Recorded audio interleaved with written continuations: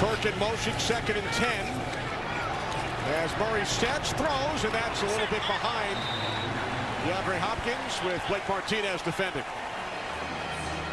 Blake Martinez doing a good job in the zone, recognizing DeAndre Hopkins and Kyler Murray that time stared down DeAndre Hopkins. Too easy for Blake Martinez, one of the leading tacklers in the NFL. He's going to make that play every time, but third down, they've done a good job disguising the coverage, sit back in zone or in two